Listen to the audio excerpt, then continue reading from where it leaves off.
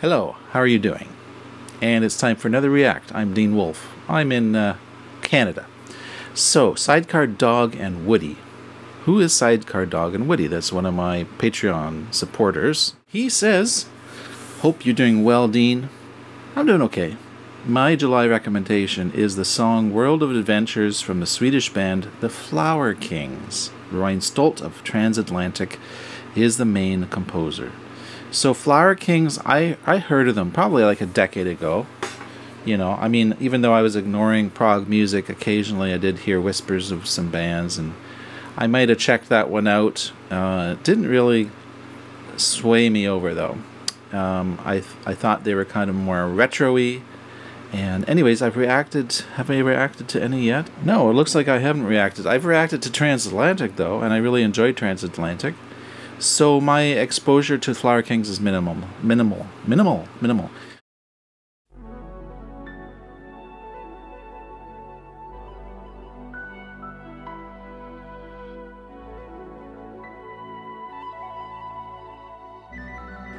Nice intro. It's really interesting what's happening there.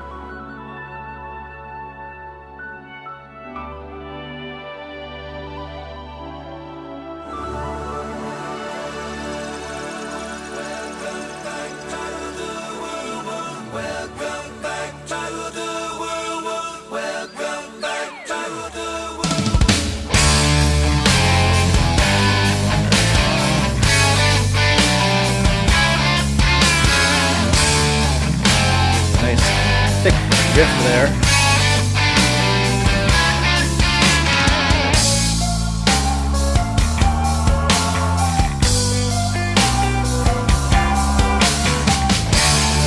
Cool.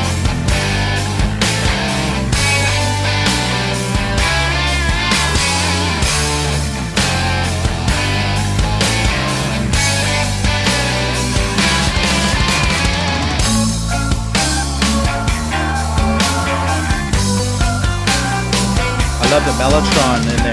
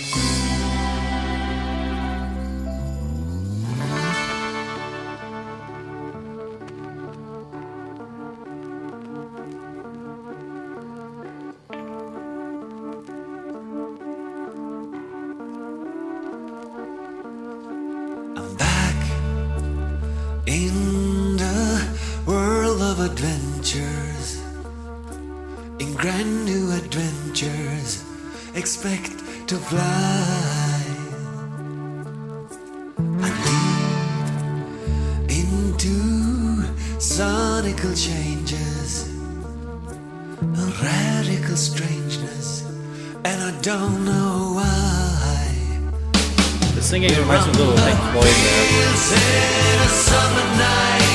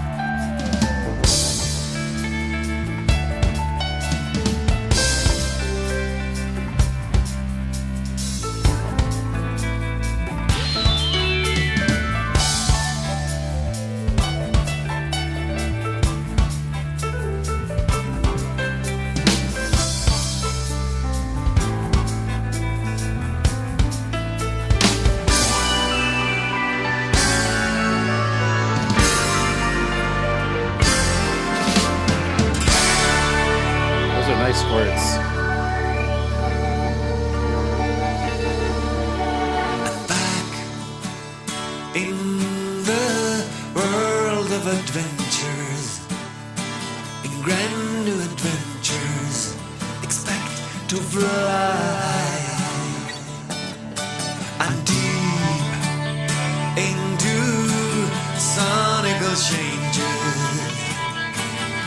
And radical strangeness, I don't know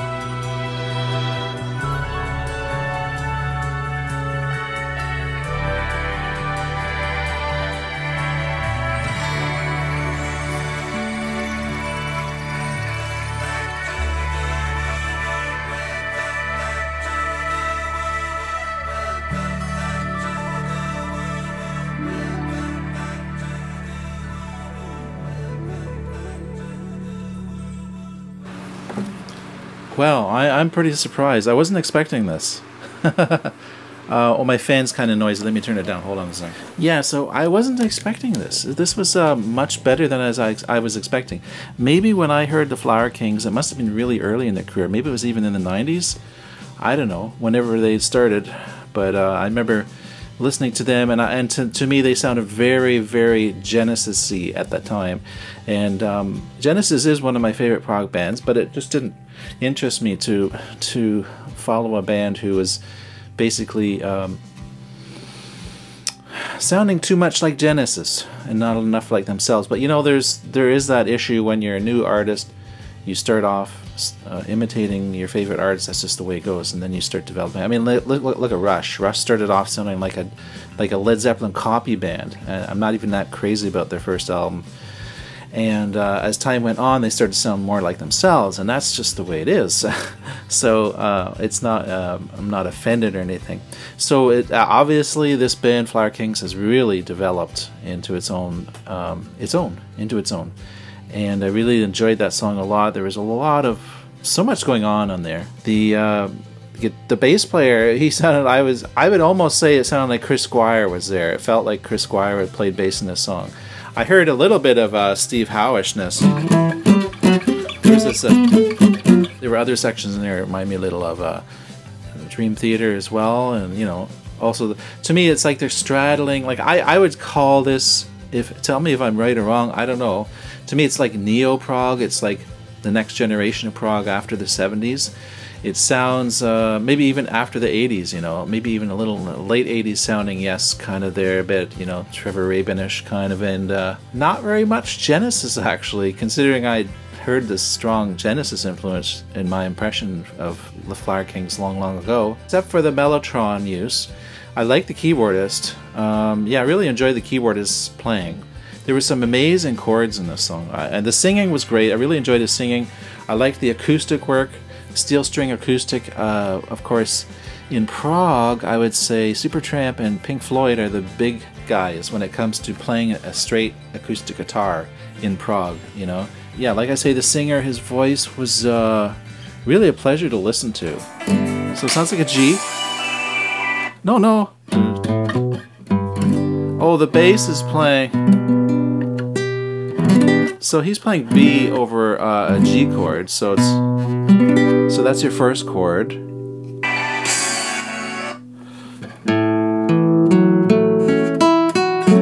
So let's say this is what it is. And then, what's the next one? I love this. Oh, the. I wish I could just riff off the name of these chords. I, I'm self-taught, so I just I, I just figured them out. That's what's next and then it just sort of resolves to G or F after. Nice. You see, I love that. That's that's that's the thing that really turns my cranks when I hear amazing chord combinations. So they're not uh, flogging dead horse ideas here. They they they got so many ideas. They're just putting them out there one after another, and uh, yeah, I, I, guess that's a great way to describe. I think this this kind of songwriting. It's kind of like a collage. We got so many ideas. They're just sort of spilling them on the canvas and sharing them, and it's really cool. So that's uh, that's my react. Thanks again to all of my supporters who uh, support this channel. And if you want to become a Patreon, the link's down below. Spiraling out. Talk to you later. Bye.